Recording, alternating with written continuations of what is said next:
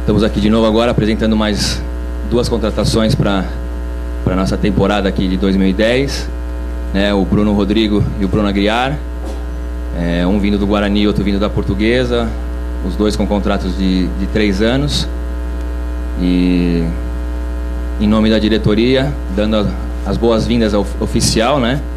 Para esses dois jogadores que eu tenho certeza que vão fazer muito sucesso no, no nosso projeto aqui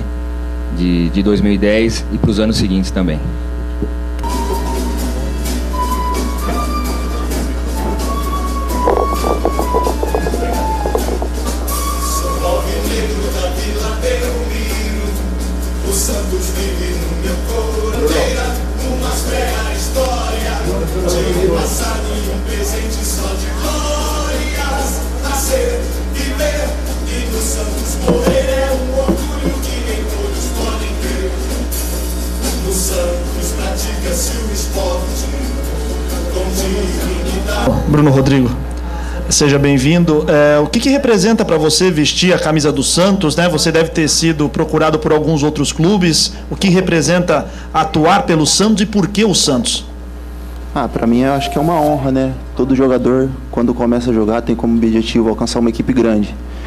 E comigo não era diferente. Graças a Deus, é, consegui alcançar meu objetivo, que era um clube grande.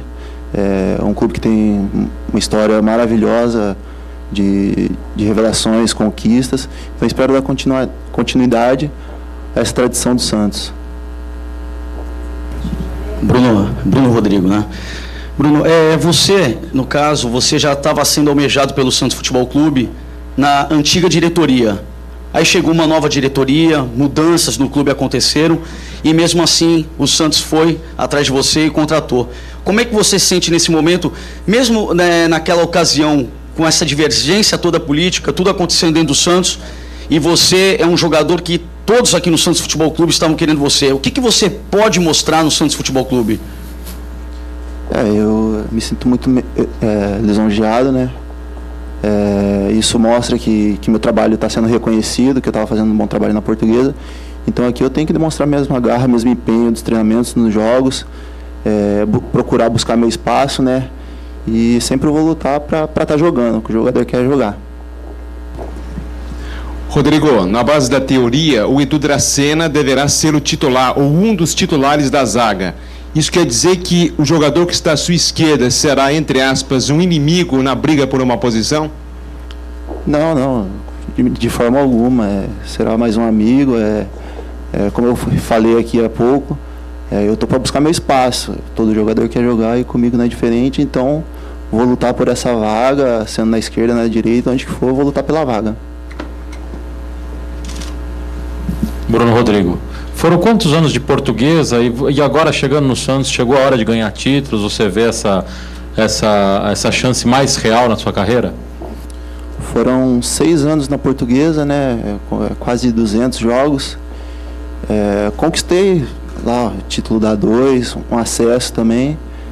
É, fiz bons amigos lá, agradeço o presidente, todos. É, creio que aqui é para conquistar mais títulos assim de mais expressão nacional, entendeu? Então, chego para conquistar, é, para buscar meu espaço, para tentar conquistar os títulos que, que, o Santos vai disputar aí né, nesse ano. Rodrigo, é chegar, chegar no Santos, né? Um, a zaga foi muito contestada no ano passado. O Santos que tem vivido momentos de instabilidade nos dois últimos anos chegar num clube grande aqui em São Paulo, né, e sabendo da pressão, da cobrança que o torcedor vai fazer, num setor em que foi muito cobrado, como no ano passado, como é que fica a cabeça do jogador, como, como a sua, que, que quer mostrar serviço, mas sabe também da, da, da dificuldade do setor? Não, é, a gente tem, tem que ter tranquilidade, né? É, chegou aí reforço, Durval, Bruno, Edu Dracena aí, que, que não jogou muito ano passado. Então, são jogadores de excelente qualidade que eu tenho certeza aí que, que o entrosamento, independente de quem vai jogar, vai dar conta do recado aí e vai fazer boas partidas. Bruno, eu sei que é, que é muito cedo, mas será que o Dorival já conversou com vocês? Porque com tanto zagueiro que o Santos contratou, tem o Edu, o Durval, vocês dois, será que existe a possibilidade de o Santos passar a jogar com três zagueiros? E quem seria o mais capacitado para fazer o zagueiro da sobra? Então, essa parte o professor ainda não conversou com a gente, né?